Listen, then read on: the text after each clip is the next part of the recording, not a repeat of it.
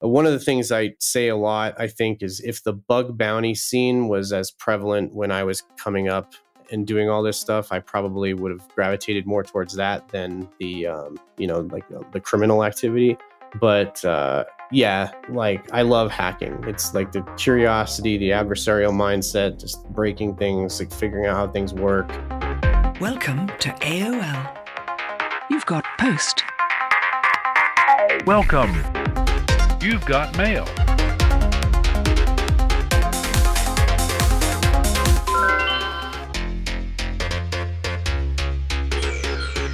Would you please state your handle and the years you were active on AOL? Yes, my government name is Bryce Case Jr. I go by YT Cracker. And I started playing around with AOL around 96 or 97, but I didn't really get serious on it until 98. Got it. And so when did you first use a computer? I was sort of at an advantage because my dad worked for a defense contractor and he was an electrical engineer. So I had computers in my house probably when it wasn't so common. So my first computer was uh, Timex Sinclair, like a ZX Spectrum, like 1K of memory. But I used to, I started using computers probably when I was three, four years old type thing. I just was fascinated with them. And uh, I would uh, in magazines and books back then they would you could transcribe basic code from these uh, sources and run the programs that you wanted to and make alterations to them. But uh, it was just kind of a cool exercise where you would just type something in and then uh, you make the game that was in the magazine. Uh, then i had a ti 99 4a uh, which was ti basic. That at least had a tape drive but yeah, again, um, very much dating myself that this was 1980s peak of 1980s computing. Cool. I think I only had like an Apple IIe. Uh, I believe when the Chronic came on, he said that he was doing kind of the same thing, just programming from the the magazines and stuff. I, I guess I, I, wish I had parents that, that showed me that stuff back then. I, I say it a lot. Like I know I was very fortunate, especially at that age, to have access to computers because the Apple IIs were in my preschool and my uh, elementary schools. But yeah, I would say that at that time it wasn't as common for people to have a personal computer at home yet. Cool.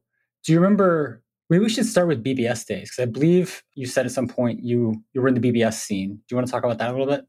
Yeah, that actually dovetails into the question you were about to ask. So, um, I also, by virtue of my father being um, connected and and everything, uh, I was actually on the internet, or what would be known as the internet, prior to even being on AOL. So uh, he had a slip account for his work. Uh, I think statute of limitations, quote unquote, was probably up on it. Uh, hopefully, I don't take away his pension or something. But obviously, I was playing around on it. There was uh, a lot like I was super big into the BBS scene locally that I co sysopped a couple of boards and I ran one of my own but there was this one BBS that I connected to quite frequently I don't know if you remember WinNuke uh, when WinNuke had come out the port 139 booter I thought that that was hilarious because on IRC you'd go on and then with, with EFnet it never obfuscated the addresses so back then anybody that was running Windows at the time you just kick them offline with one of those packets.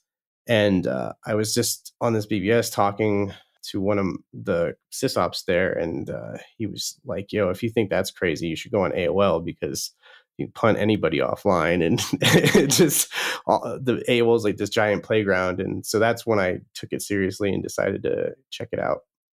Oh, interesting. Okay, so you're on. So the origin story, I guess, of this is you're on the BBS scene, and someone's like, if if you want to be a real asshole, go over to AOL. yeah, if you want to, yeah, exactly.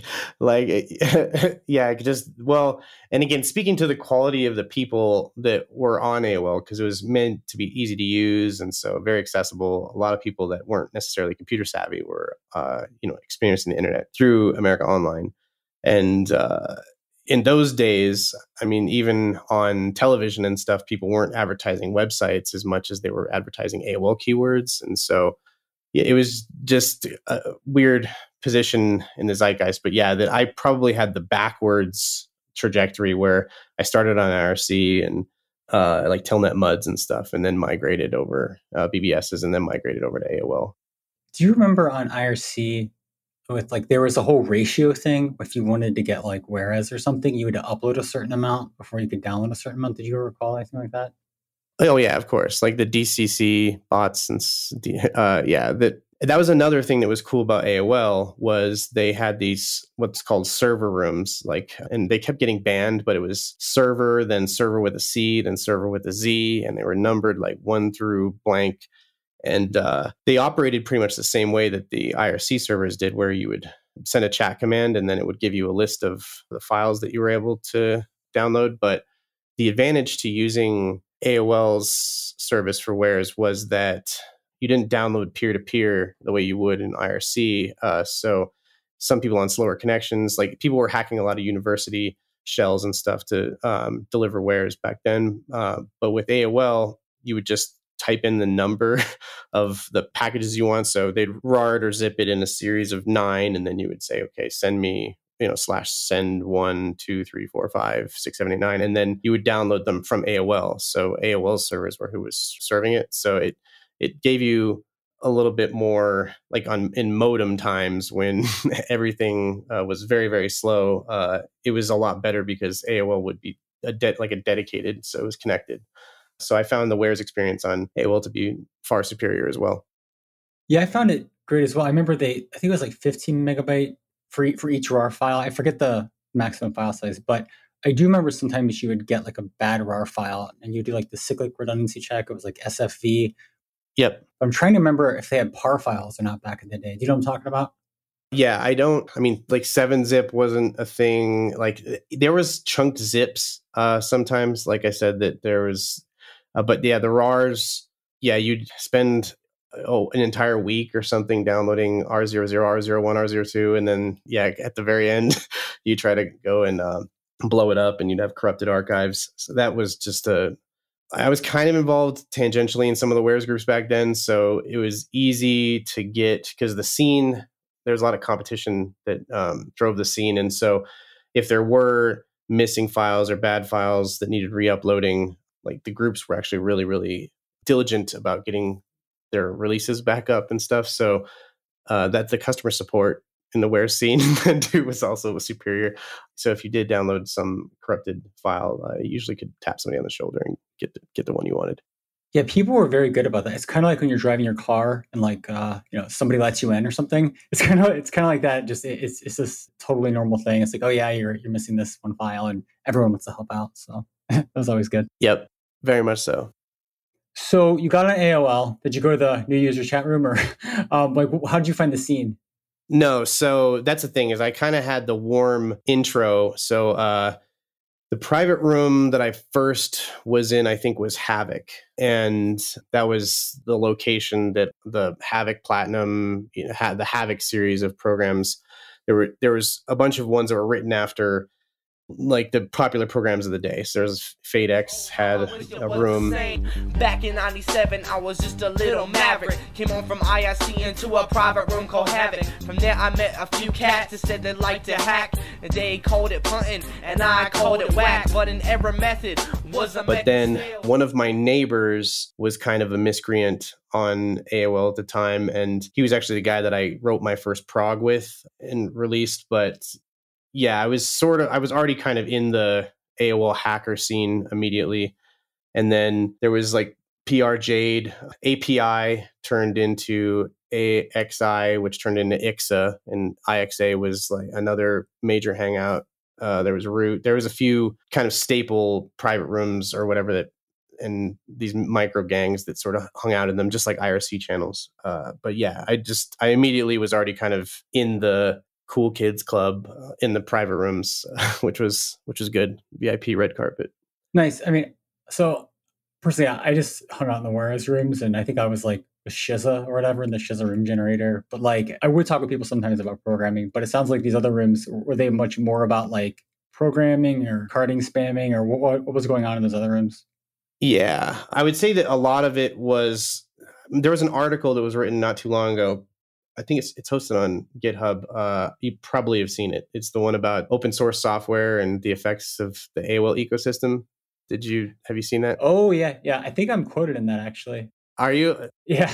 it's such it was such, like I'd kind of just gone through it, but what was really cool back then, I mean, people still had some guarded methods and everything, uh, but it, largely we were all into sharing like our module files uh, for Visual Basic. So the, to back up a little bit, the second language that I really got into was C, um, and then C but a lot of what people were doing on the Windows side uh, in th- those days was all Visual Basic. So Visual Basic 3, 4, 16 bit, then 4, 32 bit, and uh, 5 and 6. Uh, you know, that was kind of the trajectory uh, that a lot of people. So the the wealth of what was programmed at that time was largely done for Visual Basic. So there was these base file, dot .bas files that uh, had a lot of already the subclassing was already done for the API and some common functions. Uh, so these rooms sort of were really collaborative. If people were looking for an interesting way to do things or or whatever, there was an open forum that we could talk uh, about kind of the methods that we were doing. But everyone was kind of yeah, we'd see each other's programs and be like, oh, that's a cool feature. Like, how do I implement that in my thing? Like the chat command phase, there was a, a whole period of time wares we were just doing um, the same way that the where servers and stuff would read what was in the they do wm get text on the on the chat window this is that was prior to aol4 because it became rich text and stuff or 2 5 and 3 but then um yeah the, the point I, I guess of those rooms was more yeah how do we figure out cool things to do uh it wasn't necessarily about hacking aol at that time it was just yeah what was what cool features could you put into your stuff and make it work Okay. And so at some point it's it sounds like maybe it became about hacking AOL. So I mean, did you first of all, did you release any programs there? Like did you like have a program you released to everybody or did you just kind of keep them to yourself or my most famous one was called Concert. Uh, and it was um, there was a period of time where America Online didn't properly check credit cards for AOL Canada. And it was around a time so, so to give some context, AOL screen names had to start with a capital first letter. That was one of the naming decisions uh, that when you're trying to create a screen name, like they all had capital letters. But when AIM came on the scene, you could mutate the case of your screen name, and so it became fashionable to have lowercase screen names on AOL and one of the ways to do that was you had to create an AOL account from your AIM account. The Canadian, if you had a Canadian cert, so the same when the AOL used to mail CDs uh, and have them everywhere, and they would have a code on them, and sometimes they were one-time use codes, sometimes they were reusable, like bulk kind of licenses or whatever. But as part of the registration process, you would need to put in this code and then uh, you could go and sign on you finish the sign on process enter your credit card name address blah blah blah and then create your account uh, so again, AOL Canada had this problem where you could send because so credit cards have a format uh, with a checksum, like uh, still to this day, where you can determine the validity of a credit card if the if the number is correct, not necessarily if the credit card itself is valid, but just the, the number is correct. And I don't know exactly what the bug was, but you would just feed it like a series of valid credit cards once you got a, a decent prefix, and you were able to get trial accounts on AOL Canada that would usually last for three days. And so this program concert automated that entire process for you, and it was a way to make I cases. And so the I case name comes from L case, like lowercase, but capital I looks like an L. So uh, that's what the slang was for uh, something with a lower case first letter was an I case because before the only way that you could make something that looked lowercase was if you like if you wanted to be like Leet Steve, then you could do I E E T Steve, and it would look like Leet Steve in the chat room. But uh, so that's where the name iCase comes from. Hopefully, that's explained properly. did I did I nail it? Yeah, that, that makes sense. I, I remember people that would like make their names a series of like capital I's and lowercase L's, and it was like yep. that was their whole name, and that was like their thing. so it was yeah, it was confusing if you didn't know how to uh, yeah copy paste or whatever. Then yeah, they like where I'm unpuntable because uh, yeah I have all this like convoluted name, but yeah, concert was pretty popular. The first program I wrote was called Control Delete, and it was just one of those multi programs like Havoc, FadeX type thing. Uh, but probably what I was known for at the time was uh, these AO movies where I was making these stick figure animations with MIDI soundtracks uh, that were just these full length movies about AOL, like as if AOL was a real place and, you know, Town Square was a real place and the internals were like the police and all this stuff. So uh, those are the yeah the files that I sent you if you for memory lane purposes. But I got known for that in the music, I think. Awesome, sweet. Uh, in the show notes, if, if you have any screenshots of this program, we'll, we'll put them in there, and I'll try to get the, the movies up there as well. Okay, sweet. Um, okay, so you did some programming, you made some funny, funny movies, and then so like for me, there was like the desktop application AOL, and it took a long time for me to realize like there's protocols and stuff going on behind everything. I wasn't just like interfacing with the desktop app. I knew I was online, but like at some point did you start to think like like what's going on? Like how how are we sending these commands to AOL? Or is it I was wondering how you got to that point. Was it the star tool that brought you there or, or I don't know, can you talk about that?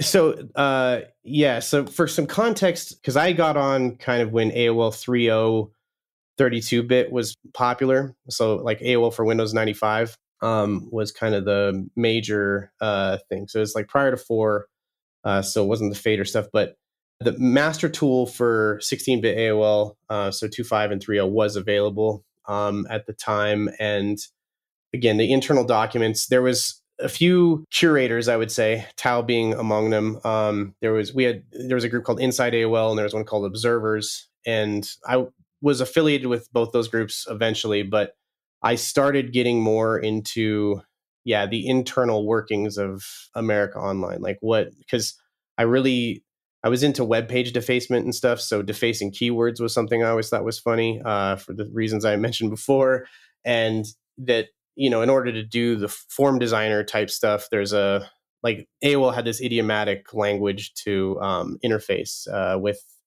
those keywords and edit them. What, sorry, do you remember what that was called? was that the FDO stuff or like Rainman and uh, uh, I mean form FDO was like the um, form display operator or something. I don't know. Something, yeah. Um, but uh, Rainman, what was was a scripting language? No, it was um, yeah, like you could do so there's accounts so like if you had your business on like uh, aol like you could actually purchase a keyword the same way you would a domain uh, and then you would have rights to basically edit and manipulate the like your keyword and then certain internals had access to do pretty much anything on any of these keywords. Like there was a strat of like a role based access uh, thing that kind of so it was like a cms almost? I mean like a real shitty cms but yeah yeah. Very shitty cms but yeah more like a yeah wysiwyg type like form designer. The same way you would kind of design a form in, in visual basic except it was specific to america online. But the fascination i think more came there was deprecated uh, forms that existed within America Online's invoke library. And so, just for instance, there was one like old so spamming. It was was probably like the next part uh, of what I did on AOL because uh, I realized you could make a lot of money and spam a lot of people on AOL. and was prior to the rate limiting and uh, all of the compensating controls that they wound up putting in later. But that when you could invoke directly like the mail form instead of having to subclass and click the new mail and and set all the text and everything you could directly invoke these forms. And there was a fad kind of around i would say 20 uh, 2002 2003 uh, that, so this is later on in in the game but that there was a form for instance that uh, it was f1 i remember there was M4MN, M4 and an M capital N was the like the kind of the real mail system, but the F1 token uh, was like this deprecated mail system that wasn't subject to rate limiting and everything after they'd already instituted it. So there was just these weird in the catacombs of AOL they had these deprecated forms and stuff that you could invoke and they would actually bypass some of the security controls on AOL. So that was super fascinating. Wait, so you could send, so you would invoke a form, and the F, so the F1 token, it would it would bring up a form, and was there like a like a to and a subject and a body or something, and then you would just fill it out? Yes, exactly. So it was this. It's and if you looked at the packets, um, so yeah, we got into you were talking about the protocols, uh, and back then, so P three is the protocol that um, like every every packet started with Z and then two asterisks, and uh, we would I forgot who built the original proxy, but there that um, you could edit your TCP CCL file, CSL file, and connect to localhost, and basically build a packet sniffing proxy on localhost that so your AOL client would connect to the proxy and the proxy would connect out to AOL. And so you're able to dump all of the packets. So it was fairly easy. It's like Wireshark. You could see exactly what your client was sending to do things. And sorry, so can we pause for a second? So this, this, kind of sounds like like Burp Suite or, or like a, like a web debugger. And, and, could you could you also pause and edit packets? Uh, yes. Well, that that was function. Ha! That's so cool. Sorry. that was what kind of came later. What I mean, again, the first kind of iterations of these proxies were just to kind of get the pass through and see them, and you know, we'd have them display in hex, and we'd have them display in string, and have them display, uh, you know, text, and then you know, made it so it was easy to pull out the strings and then just import them into your programs. But uh, yeah, that you could basically yeah, pause packets, rewrite them, just the same. Yeah, think Burp Suite. That's a great way to put it. Um, it just as intermediary proxy with between AOL and uh, and the client. But that's where a lot of the raw, like that, you could see how, like through the client, like when you would invoke these forms, like you could actually get the raw network calls, and then that's where the the nomenclature like F1, M4, MN come from. So the F1 packet format. I'm, I'm, probably I'm sure I have the programs like somewhere on one of my hard drives to, to illustrate how this worked, but that the way that that packet was identified with F1 was how you would send like you could send the the name, the BCC list, the subject, the body, and then you'd have to just chunk it properly. But with the M4MN method, um, that's the two in the subject went into the M4 packet, and then the body went into the MN packet, if I'm remembering correctly. But that yeah that f1 method basically was not rate limited and so and you could send just zillions of emails off of accounts and so at the time it was really lucrative because no one else was really doing those types of things he didn't do he made us grab our dreams because money had our pockets busting at the seams when you loaded sub spam in a private room. A million others loaded and they sang the same tune. I'm an icon of spam. I spam for cash. Seeing so much green, you think it was an episode of MASH. Back then you could spam all you wanted. Fuck you, AOL. The spammers, we taunted. There were no rate limits and no gay. Yeah, diving deep into America Online at that time was just a, a, lot of what I was doing. Again, screwing with the keywords, like finding a lot of the hidden websites. Uh, we were shelling. There was a TCL exploit on AOL server that we were able to root the web servers, and then we'd log on to IRC using um, the AOL. Uh, so we'd have AOL host names, which was a bit of a flex. I, I know one person got taken down for that, um, but even making like two letter and one letter screen names, this was all part of how this worked. And as you can see in AOL files, the reason that Star Tool existed to uh, like post that 3.0 was uh, my partner Glitch and I. We found this. Uh, it was like a. Uh, it was listed as a, con, uh, a, a AOL debugger or something like that for AOL Canada and uh, Zero Divide Zero uh, O Zero O. I'm sure have you heard about him? Yeah, legend of the game, Tim. Yeah, he uh, actually Tao was like, um, yeah, I, I, didn't know that's what that guy's name was. We so zero divide is how you like pronounce it or something, or yeah, that's how you pronounce the O zero O. Yeah, zero divide. Uh, he would go by ZD sometimes, ZD or O zero O, but yeah, that he actually was the one who found out that that was just a repackaged master AOL, and so he hexed it and uh, got it to work. But uh, yeah, a lot of those post AOL 4.0 exploits that all came out were a result of of that. Um, so that's like another claim to fame, I guess I had. Cool. Sorry. So so going back to the F1 token, uh, I'm still kind of uh, really interested in this. So I, I want to pull on the thread a little bit more. So did you automate the GUI to send out the spam or did you figure out a way just to just to like kind of replay the packets or or, or um i forget what it's called scapy or something with python where you can build your own packets? Did, did you yeah uh, can you talk about which way you did it? Yes right. So the way like i'll backtrack a little bit more and there was this password cracker that came out in i think it was 99 called uh, trinu and it was by this guy trinok and it was written in c++ and it was the fastest cracker ever made. It was it was insane, and it was leveraging because the AOL 2.5 the, the the protocols there were some different changes that were made in the handshakes and the cyclic redundancy checks and stuff, but he was the first one to really build a like what you would consider a WinSock program for AOL that was scalable and, and amazing to, to the function that worked. A lot of what we were doing up to that time, because the AOL sign on was kind of this black box that we couldn't really figure out how it worked. But what you could do is you could sign on with the client. And then once the program was actually signed on, like it had done the key exchange and password and login, you could hijack that session and then send the packets however you wanted to. Like past that whole sign on process, then the packets weren't encrypted or anything like that. You could just kind of hijack it and then do whatever. So that WinSock programs of the day, like what they you would do is you would subclass the sign in part of it. So you'd like go to like click have it click guest and then you know sign in to the username and password. And then once it was like welcome, then you would just terminate the connection from the packet, like your program side or whatever, and then take over the session and negotiate it with that way. So the original WinSock mailers and stuff that we wrote by taking the packets, analyzing them, and reversing the protocol. Like we would, you would be able to have multi-threaded mailers where you're signed on to a bunch of different AOL accounts at once, just via this method.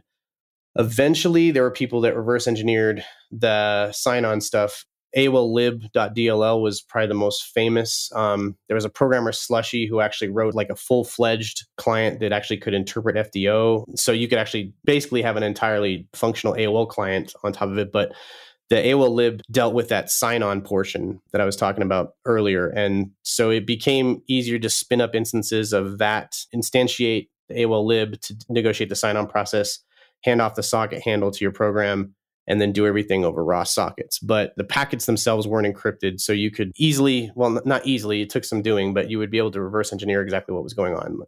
And so, yeah, the mailers didn't have to even interface with the client anymore. Like you didn't have to click send and blah, blah, blah. You're basically just sending the packets that would do that thing. Okay, that's great. Did, did AOL catch on and eventually start throttling and stuff? Or?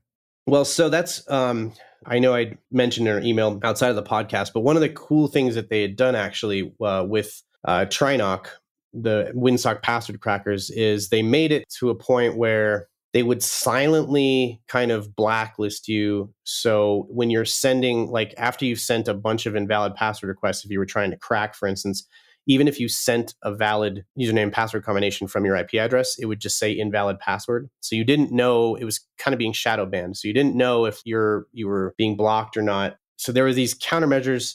America Online again didn't have a really good detection system as far as i know whether you were using a thin client or a, like a real certified desktop client. So there's some issues.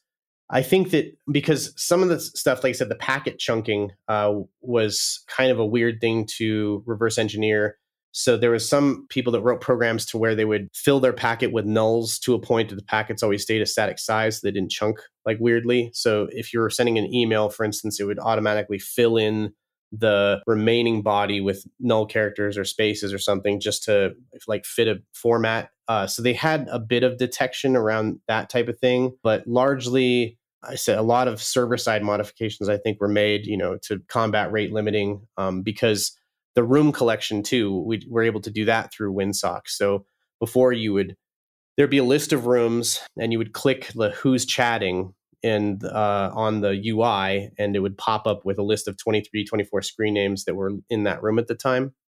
And then you would grab the list box and then close it and then you just kind of iterate through the that. And also same with the member directory if you're searching strings and stuff this was how you collected names to crack and names to spam. so uh, it was just a good uh, OSINT way to to find valid accounts. But that got rate limited to a point where you know you if you're clicking who's chatting too much, it would block you. Uh, uh same thing as if you were chatting and you sent more than four lines in a chat too quickly, it would sign you off. So I have a question. If you you were saying before that you could kind of be on multiple accounts at once, right? So in theory, could you yeah be collecting doing the room collection from multiple accounts at once to not get rate limited yeah so you would do this rotational thing okay so the, the way that actually it worked with aol was the window on AOL was AOL Frame 25. So uh, that was the um, like when you were subclassing the America Online window, that was what it was.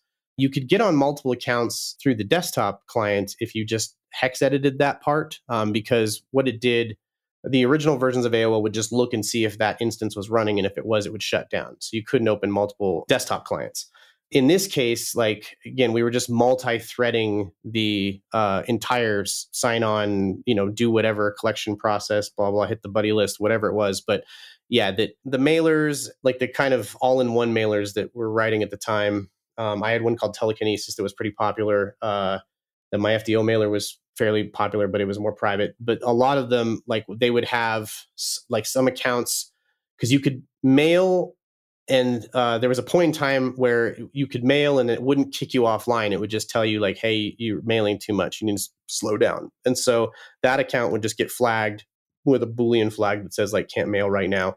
And then it would go in to start doing collection. And then uh, there was a program called delilah that uh, me and my buddy flo had written uh, that was an artificially intelligent chatbot. Well quote unquote artificially intelligent it was pretty stupid but that you could also have these accounts pretending to be girls and like just sitting in chat rooms and saying like hey 18 female california like asl hit me up. And so at any given time you could have a bunch of accounts doing a bunch of different things uh, and that was eventually again they would get terminated but anytime yeah you reach your collection limit on one then you start mailing on it then you start botting with it or whatever so it was a way to just get the maximum amount of juice out of each wait so what was the point of the botting to make the account seem real or yeah, so we get you know edit member profiles the same way, um, all through. Like I said you could do it through subclassing Windows and stuff, but you could do it through through WinSock. But the thing I was spamming the most of at that time was porn sites, and there were a couple companies that would like pay per click, pay per sign up, but the pay per click worked out. Um, you have to just maintain a ratio, I think, of one to uh, well, one to two hundred. So one sign up for every two hundred clicks or you got $35 a sign up. But um, because of the volume of clicks that we were doing on our landers, and it actually made more money with the clicks um, as long as you maintained a ratio. But yeah, that you would have these accounts that would just pretend to be yeah women, and then they would just sit in the chat room and like spam like 18f want to chat, you know, hey I'm horny right now, you know whatever it was, and then when they would get IM'd, it would, the script would pick up, and then it would start discussing things with the whoever was hitting them up. And then did it send people links to the site? Yeah, like we, I mean, we wrote in like um, keywords that were no goes. So if we asked ASL and somebody was like, I'm 13, you know, it would just stop talking to them. So there was certain, and there were certain things where if certain strings were in the screen name, because like for instance, cat reps uh, were a community action team that they actually worked for AOL. So, uh, you know, sometimes they would hit up the accounts to try to induce them to do uh, stupid things. But yeah, that the conversation would just progress until a point where, you know, it's like when they would say, send me the link or it reaches the end of the tier system, it would send them the link and then they click on it and, you know, decide if they're signing up or not. That's funny. I mean, because like if you think about it, there's like well, one there's interactive voice response systems, but I mean also like people that field phone calls at like call centers, they have scripts, right? That they that they go by, right? it's kind of just a bunch of like if thens. Oh yeah, it was pretty ingenious at the time. I mean, now we have machine learning and GPT three and stuff that does all this on at scale, but you know, again, it was we developed this thing called a brain file and it had syntactically like it was just uh, certain keywords and then they were pipe delimited so you know somebody who would say something like free porn link naked you know whatever that it would trigger on those. So if, if somebody said like hi or what's up or sup or how you doing like it would normalize all of it so it'd all be lowercase and then it would try to smash it together so it would be readable by our program. But then depending on the types of things that they said like it had the script had responses to that so you know like no credit card or something if somebody said that then you know it would say like oh it's just for a free trial like we don't charge you that type of thing uh, i think similar things are still in use today but on tinder bots and whatnot interesting i think i saw so i was like scrolling through your your catalog of songs and there was one called Delilah, and I wasn't sure if you were just like singing like uh, uh yeah. A, a, is, is, that what that's about? Because I because I, I know there's another popular song called Delilah like about someone's lover or whatever. she's my fire, she's a fighter. When it comes down to the wire, she's the one I hire. She's a hot trick. drop flicks to rock dicks. Simply just the top pick. If you're not sick, you'll get caught quick and then drop kick. So back off, your racks off. Click the link and jack off. You're the only bitch we love. You're a gift from above. You never cheating, making our money even when we're sleeping. Hustling those their credit card in a minute flat. The yeah that song is about like the lyrics in that song are um you know it's about our bot but, but she's always working you know she never gets tired like and it's written like a love song but it's very yeah that knowing that it's a chat bot uh is pretty much the the context of of what that track is but yeah delilah is the only bitch we love something like uh, sent from above. She's never sleeping, making her. She's never creeping, making her money even when we're sleeping. Hustling those fools in chats, getting their credit card in a minute flat. It's been a long time since I've heard that song, but yeah, it's um, but yeah, that song is just about uh, the chat bots. That's funny. Okay. So that, that's kind of cool to get a little history on that song. Okay. So then when these, when the calls got sent to AOL, I, I want to know what sh- what do you think the backend was like? Was it like there were there stored procedures that ran that took arguments, and or what's your thoughts on that? Well, that's where I was saying that the a lot of the way we dealt with was this, uh, you know, heavy. The slushy really he really dove into the reverse engineering of the protocol and was able to emulate the entire kind of uh, like the same way that you would set up a World of Warcraft game server. Like I'm fairly certain that Slushy got it to a point where he could emulate both the server and the client side, and you know all the the form elements and stuff that were available. Um, the thing that we were doing was a little bit more, I said, ham fisted because we're taking the static packets that we were getting from the client and then just seeing how those worked and then working backwards. Uh, I wrote specifications. I said there's a lot of stuff I don't remember, like because there's you know fields for packet length. There's a there's a sequence. There's two sequence bytes I remember that uh, would iterate and then like roll over eventually, but it was kind of like a, a, counter. So for each packet that you sent, it had to be in sequence, obviously. Um, and then there was also these kind of health check ping pong packets. We, working off of half the information, there's some of the stuff obviously I think I could emulate correctly, but the limitations of what we actually did were obviously reverse engineer the mail stuff, the instant messaging stuff, the profile stuff, the chat room stuff. But like for instance, how to display a keyword or something, I don't believe you know we never really had any need to do something like that. So yeah, over the wire, um, I think the packets that we were concerned about were the ones that were going to make us money or something. Right. Okay. So I guess what I'm getting at is server side when AOL receives the calls. I, I guess like I'm I'm wondering about like the architecture, like uh, like what was running on their servers that would accept the calls, and then once they accepted the call, would that relay it to like a database server or something that was running a store procedure? Do you know what I'm talking about? Yeah, yeah, I, I know what you're saying. I think well, that's what I mean. I think that infrastructure wise, I mean, it, it is just this custom protocol I said eventually, uh, said I think it was AOL six and on started using Flap, and they deprecated P three. You could still connect with old clients for a, a, really long time. I think they're probably just trying to avoid alienating, you know, all the grandmas and stuff in Middle America that were still connecting with AOL four and whatnot. But Flap was actually part of like the OSCAR protocol which was the AIM, kind of what the new AIM used. AIM had uh, the talk protocol and the OSCAR protocol, but yeah, the newer stuff was Flap. So it was completely different. And I think, but what was odd about it is obviously these packets from AOL one uh, all the way up through four, like that you were able to start not dialing into AOL, but you could connect via TCP/IP. And that was where it was advantageous to have like an Earthlink account or a Net Zero account, or again, something like my dad's Slip account that you would connect to AOL, like without the e, uh, modem stuff. But that framework, like whatever the, the protocol was over the wire um, through TCP/IP, was the same stuff that was actually being sent over the modem. So whatever protocol parser and stuff that they had on their backend, it was present in both the like dial-up users and the the internet users. Uh, it was homogenous. Right. Uh, maybe I should probably tell you what I'm trying to lead you to, because um, I'm really curious about this. Is the because I know when I was talking with Tao, we were trying to figure out like basically how, there wasn't input sanitization, right? Maybe there was kind of like JavaScript, right? Like there's like client side validation, but there wasn't server side validation. So in some of the requests, you could send like extra characters and get really long screen names and that kind of stuff. And I guess I'm trying to get at like what you think that their server side looked like, where they would just not have any kind of sanitization and just accept whatever and just um, run a cert procedure and create a screen name or whatever. I'm kind of getting at that that kind of stuff.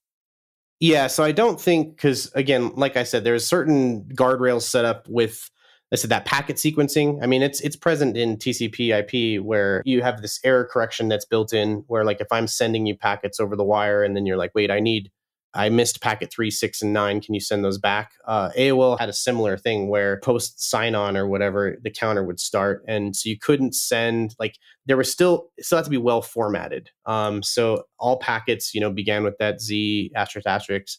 That was the the magic for the headers. I, I wouldn't say it was completely naked, but I mean, definitely because of those like the 16 character thing the, the, screen name limit used to be 10 and then that it was lifted at around the aol time but people were able to make one character and two character screen names there was indents like where you know you could have spaces at the beginning of your screen name that was something that was found by hypa um, with 2.7 mac aol client um, uh, he was able to find a way to uh, to, to do it there. I, I forgot the exact details. Um, again, over the protocol itself, though, like all of those things would have been possible.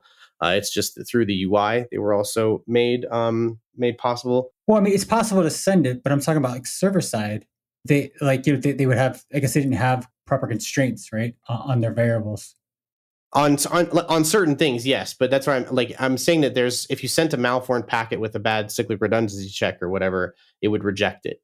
So there were there was some amount of yeah like uh, sanitization and restrictions and stuff uh, but again to what extent and and on what like where the compensating controls were i mean obviously the mail example i was giving you that some somebody missed that um, that workflow stream because again that stayed alive well after um, they had already implemented rate limiting and things. So uh, i would say that there's probably you know in your stored procedure type thing whatever yeah actions that the I guess the server side was was taking and how it interpreted the packets and stuff was a bit of a black box. Uh, and so again, I only know kind of the interfacing, uh, but I trying to send because the packets had a limit of 255 bytes, if I remember correctly. So that that was it. If you tried to send a packet that was over size, it would truncate or it would drop that's why I'm just saying it wasn't super wild wild west where you could just kind of do whatever you wanted, but there was obvious gaps in their um, in their their checks.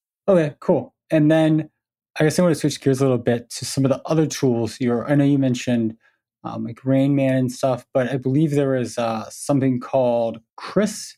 Yes. So Chris was the holy grail uh, of America Online because it basically had all of the customer data on um, anybody that was an AOL member.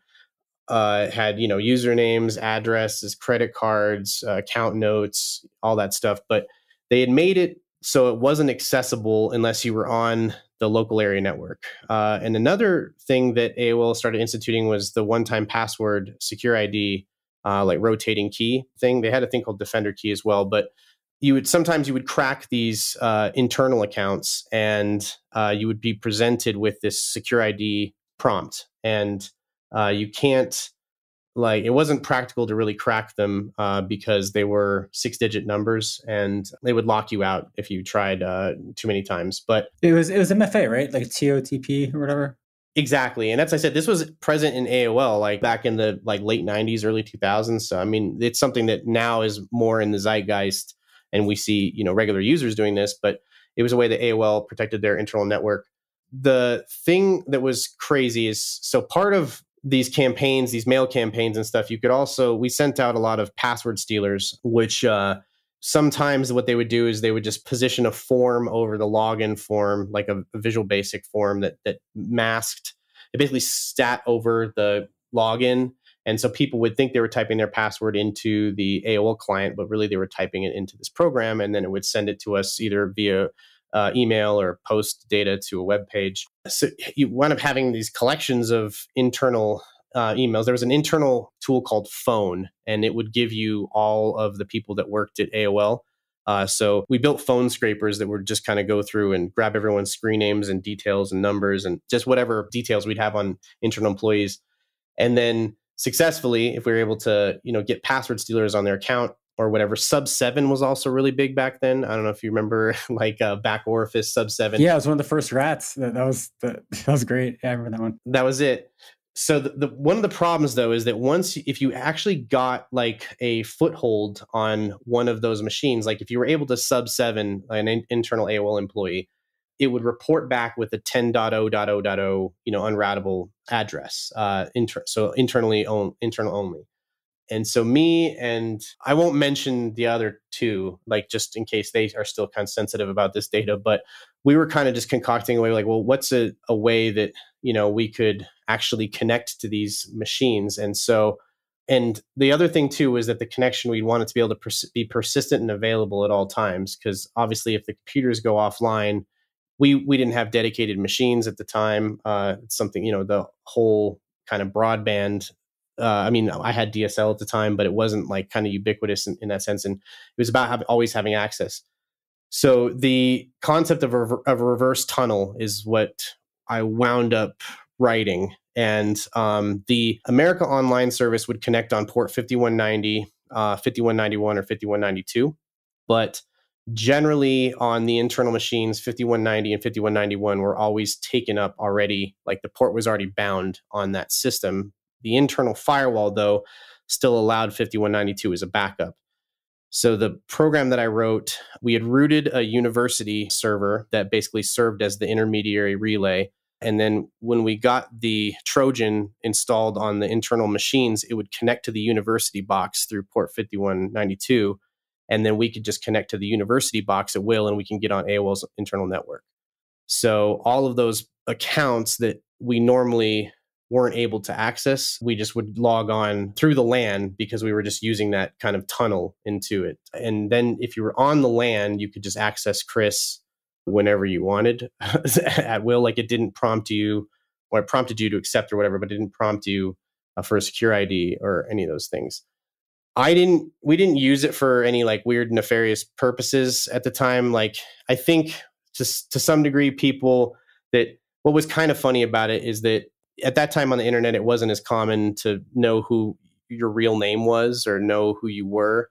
And so if somebody was talking shit in like an AOL chat room, and then you could immediately pull up like where they live and stuff, like you wouldn't see them sign online for a while. So that, that was kind of a common practice. I think people were leveraging that data to uh, to scare people, but that we just were trying to get cool screen names. And so like I had God, I had Jesus, I had uh, just everybody's first name. Everybody had their first name that was in my crew, provided they weren't an internal account. But uh, yeah, it was basically just a screen name grab. We weren't trying to do credit card fraud or anything like that. Interesting. So I just want to talk about this relay a little bit. So it would connect to the university server, and then would you use like IP tables and like DNAT or something, and, and would it just route the connection? Or I, guess I don't, I'm not fully understanding how it worked. No, it wasn't that like yeah, it wasn't even that highbrow. That basically the the Trojan just had a persistent connection. The university server was always online, and that was the benefit of that.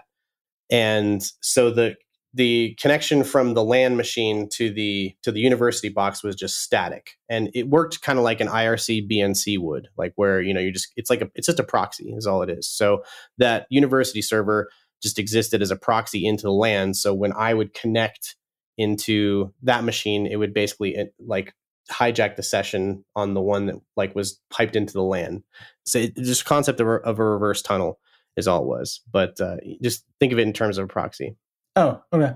Got it. All right. So it was uh so in terms of like SSH, there's like a forward tunnel and reverse tunnel, right? So it was like which one was it? Yeah, this is this is a reverse tunnel because you're you're trying to because since the address that was that's reported, you know, is this 10.0.0 unroutable one or whatever, you just get an outbound connection. So the same way that like go to my PC, TeamViewer, like all these types of things work, where they work with an outbound connection where they have a, this intermediary server that negotiates everything. Um, that's this. This is the same concept. It just basically did that. The LAN machine would just connect to the the dedicated machine, so it was always online, and then we would connect to the dedicated machine at will to get back into the LAN. So then how would you pull up Chris? Was that like a GUI app or was it actual database? I mean, there's probably database behind it, but how do you connect to it? Just a keyword. So keyword CRIS. Um, just type that like the same way you'd go to AOL, like Control K or whatever it was, and just uh, yes, and then you just type in Chris, uh, and wow. it would just pop up. So they they they really ate their own dog food, huh? that's that's crazy. hundred percent.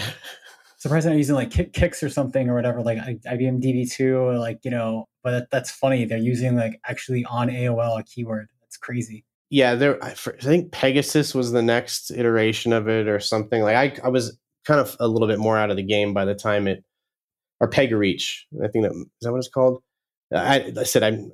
I mean, this is like 20 years ago, so like some of the stuff's a little a little foggy. But yeah, that that was. But it was like I said, the holy grail of all AOL hackers, because realistically, like I said, you could that you know somebody's talking shit to you in a chat room, you immediately know where at least their whoever holds the credit card of their account lives um, and stuff. But you see the notes, address, like you could reset the passwords. Uh, you could do, you know, a wealth of things in the old Chris system. So well, once you're on the internal network, could any employee access anything in Chris? Was there like any limits at all to this?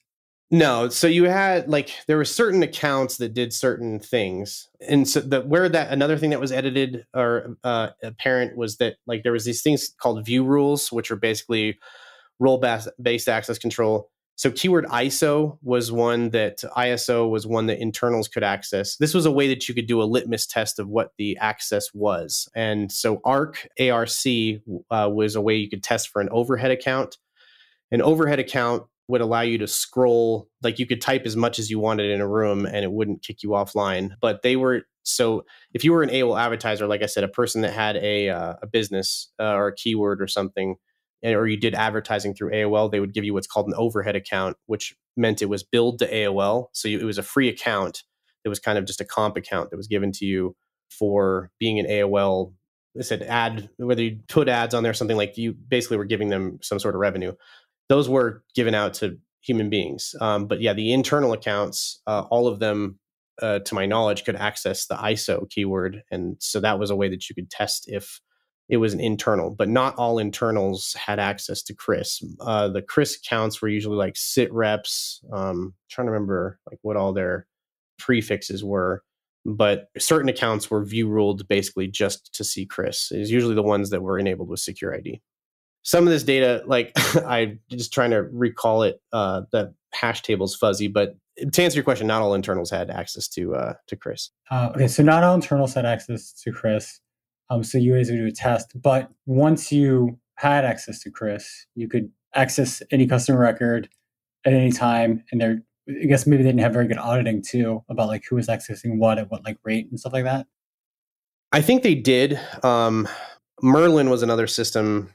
I uh, sorry, like that I thought of, but yeah, that there had to have been because like in in the process of doing this stuff, uh, obviously there was internal accounts that were getting killed, you know, as we were doing resets and stuff like that. So I, there was some amount of audit chain that was going on. I don't know to what extent, like if merely viewing an account uh, fired an event, or if you had to actually do something like change the password. Uh, it's something I'd be interested to like, you know, yeah, talk to an AOL systems engineer or something like that on. But yeah, there was definitely some kind of auditing going on because they would terminate these accounts if they found fishy activity on them. So it wasn't necessarily just super wild west. Uh, and this is where I say AOL had a lot of, like, to their credit, it's odd because I mean, here we are 20 years later, and some of these kind of you know auditability chains and stuff that we talk about in information security at scale, like that AOL, I mean, kind of had to get that maturity fairly early because uh, they were dealing with so many weird issues. Yeah, definitely. And I was actually just thinking earlier today, like AOL. I mean, generally, you'll make a product to get to market, right? And then you kind of just deal with stuff as it comes up and it sounds like you know maybe they're just putting it's like i don't know was it patching the plane while it's flying or whatever yeah yeah right right so okay and then at some point there was like a news story that broke right about people accessing chris that were not aol employees and i think you were quoted in one of those news stories yeah again at the time I had written the bulletin and I'd done, you know, so when the media requests and stuff came in, I was willing to talk about it, but that the I was talking about it in a kind of a third persony way where it's like someone who isn't me, my friends, you know, who did this and stuff were the perpetrators of it. Uh, as I said, like from a breach standpoint, like we were just our methodology and our reasons for doing it weren't like to uh, we could have downloaded everyone's credit cards if we wanted to because again automating the process scraping you know iterating through the member database provided i said the audit chain that we were just talking about like if it wasn't as robust as i'm thinking it was then it would have been possible to expose information like that now you know in today's world if something like that were to happen it'd be an extinction level event and you know you're definitely getting your door kicked in and all types of stuff uh, that you know companies don't really have any room to move when it comes to GDPR violations and uh, you know breach disclosure and all that type of stuff. So that a sign of the times, you know, again, I don't know how aggressively they pursued it, but yeah, the the biggest thing I would say at the time was uh, scary, but it wasn't something that I think people even really wrapped their head around. It's not like today when Equifax gets hacked and then pretty much you know even your grandparents are talking about it. Yeah, right. That, that's that's so true. So it sounds like it was pretty innocent. I mean, just in terms of like how stuff escalated over, the years, like with the TJ Maxx stuff and like ransomware, and like you guys just wanted like cool screen names. Sounds like.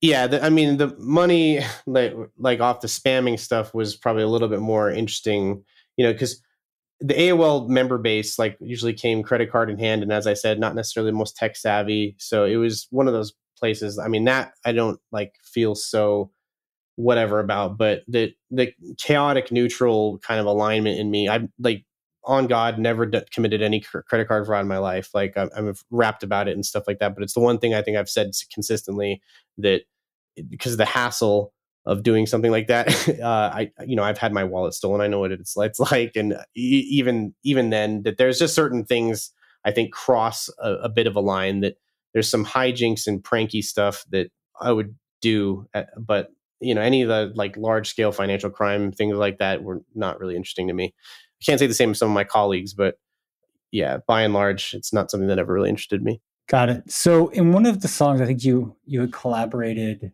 uh, with dual core uh, one of the lyrics was multi-threaded brute forcing secure id tokens. Multi-threaded brute force secure id tokens german canadian. Did, did that really happen? Did int say that or did i?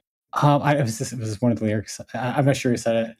It was probably in, but remember, I, as I said, that that wasn't necessarily practical because the key space was uh, zero zero zero uh, six zeros through nine nine nine nine. So you had a million chances.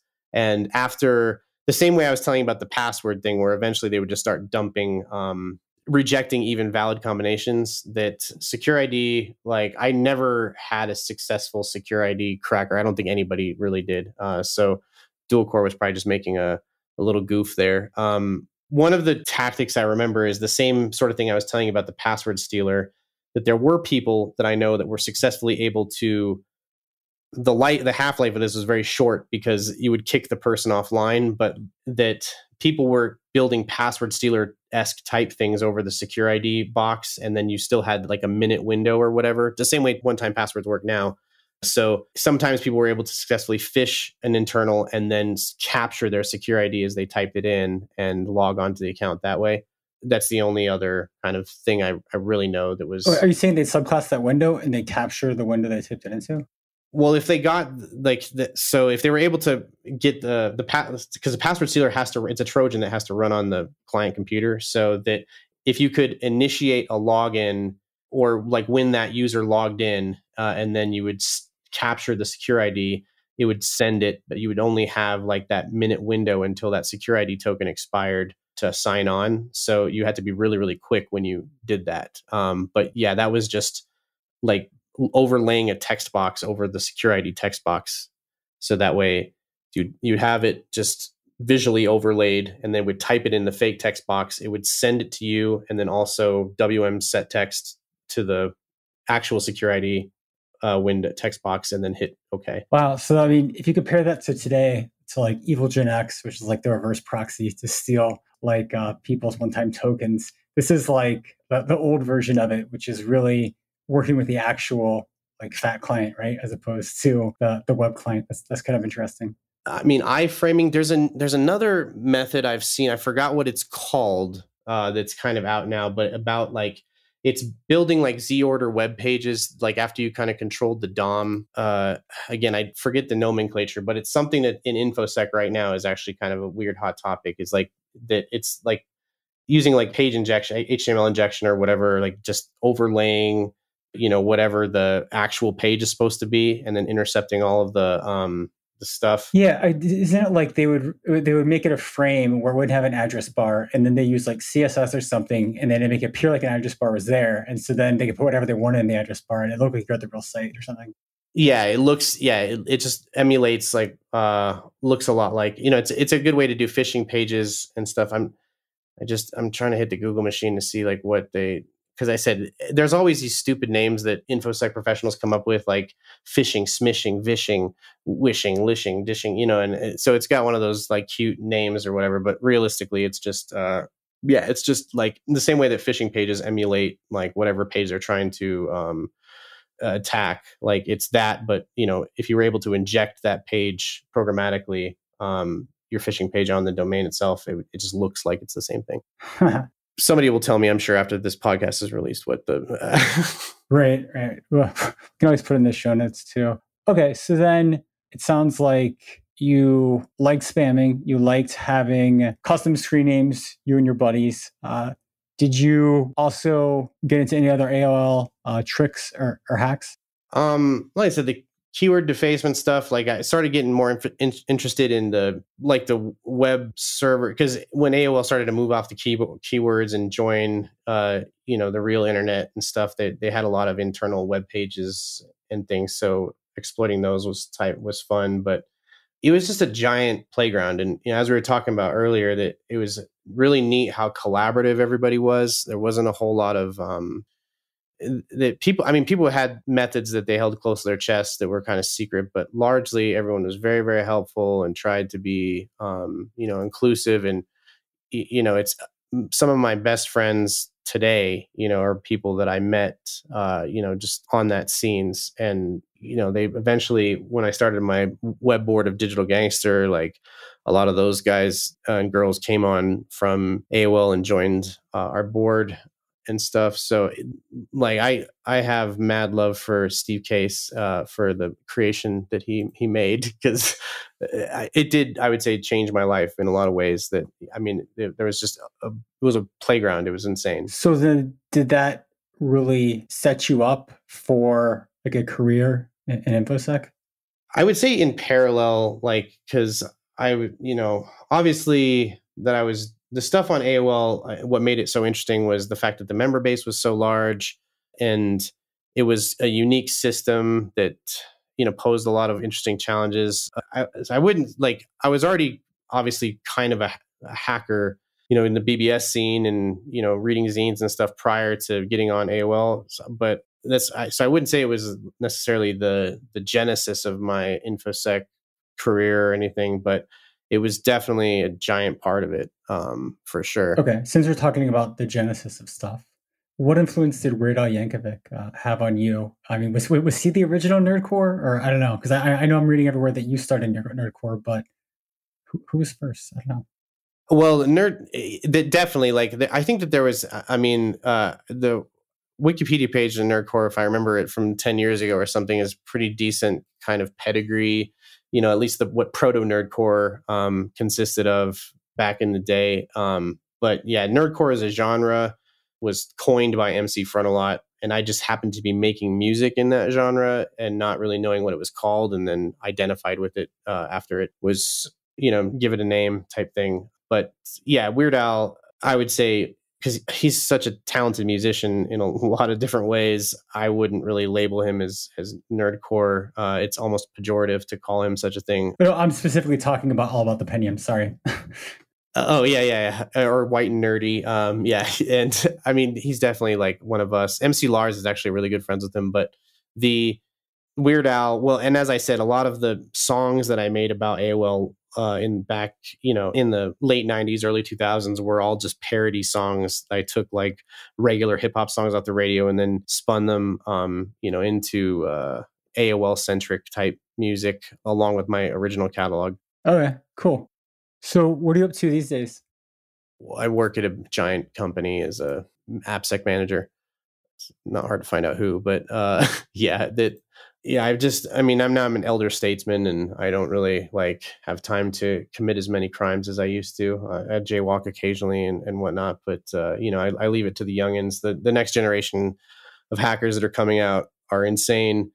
Uh, one of the things I say a lot, I think, is if the bug bounty scene was as prevalent when I was coming up and doing all this stuff, I probably would have gravitated more towards that than the, um, you know, like uh, the criminal activity. But uh, yeah, like I love hacking. It's like the curiosity, the adversarial mindset, just breaking things, like figuring out how things work. Uh, so between that and music, I stay pretty busy. Cool. I think I heard on another podcast I was listening to. You were talking. I want to go back to 2014 uh, to the Neals album. I believe you said you have like a whole prequel recorded, like from in like and it's done a year ago, and you never released it. and You're thinking about it. Do you have any update on that? It's been done since 2019. It's just uh, the pandemic. So, like, part of the, I mean, it might just operate as a time in history, but that a large piece of the album takes place in like the startup culture type thing in the cool office with the ping pong table and the uh, the cornhole uh, stuff, and it's like that a lot of the applicability of it in you know today's day and age. I mean, it is a prequel, so it doesn't really matter, but this I think there was a certain sensitivities around why I didn't really feel it was appropriate um, or something. Uh, but uh, yeah, it's like I said, yeah, it's it's done. It's been done. Um, I just need to put a bow on it and, and get it out. Um, okay. Yeah. Thanks so much for being on today. Um, this is super cool. I'll put a bunch on the show notes. Um, if you have any any screenshots or anything of any old programs, what I, I I love that you're doing this. I I don't think I've ever talked about this stuff like really that because uh, it's such like a moment in time that is like a you had to be there type thing. Um, and there's a I call it the Alpha Omicron Lambda fraternity. Like we just that there's this sort of underpinning, and there's so many of us that went on to have really successful careers, and again, largely in touch with a lot of people from that scene and it's just fascinating to me because there's just so many of these kind of moments lost in time like tears in the rain blade runner type thing where that yeah if you were there the feeling was just insane. It was just like feeling like we were doing something at scale and crazy and you know being a teenager and just having this large kind of palette uh, and canvas to, to to mash with. I don't know like i said but that's what i just love that you're doing this this podcast uh, you know whether or not it like gets huge listenership or anything uh, still i just believe it's important to document for the historical record that these took place yeah definitely i'm certainly not in this for for the for the listenership i i, I have uh, zero expectation of this blowing up because I mean, one, like I'm not doing like a dark Darknet Diaries thing where I'm like pausing every five minutes to explain what something is. So um, there's that, right? And um, I'm just not sure if people will be interested besides people that were there. But I think people that were there, they they love just just uh, hearing about this stuff. Like for me, like, hearing you talk about this stuff, it's just so cool knowing knowing that all those things were going on and and learning about it. Like for me, like hearing about overhead accounts was just like almost in whispers. Yeah. And then uh, you know, and then to hear that like how deep you took it and stuff, it's it's super cool. Well, and that's yeah, it it is. It's and there's varying degrees of this stuff. Like a lot of people have AOL stories, uh, you know, from varying, like you said, you said had a Wares background. Uh, you know, like one of my good friends uh, that I just saw last week, he had the first YTCracker fan site on the internet, actually, but he's a giant macro artist. Like he would draw the, you know, the graffiti, the ASCII graffiti for the Wares groups and, you know, but he wasn't, I mean, he'd punted people and uh, tossed people and stuff, but he wasn't like really in the scene. He wasn't a programmer himself. And, you know he's not in security but like still has very vivid and cool memories of those times and and so it's nuts because there is a, a varying degree of experiences that were there uh there was a group called Lithium Node um, back in the day that were like they were out of, out of Denver and they had done a lot of the original kind of crazy hacks against AOL that were more like low level, uh, impressive type things. And I idolized those guys uh, and they're still part of the kind of hacker community for 303. I just said that there's just this crazy family tree uh, that spans uh, fairly f- deep and wide. It's it's super super interesting and it's just awesome when I you know hear people that were kind of in the scene and uh, you know had a different experience because uh, you know they may have heard about something that we'd done or whatever. And that was just what it was about getting up. Awesome, man. Well, thanks for coming on the show today. I appreciate it. Thanks for having me. Goodbye.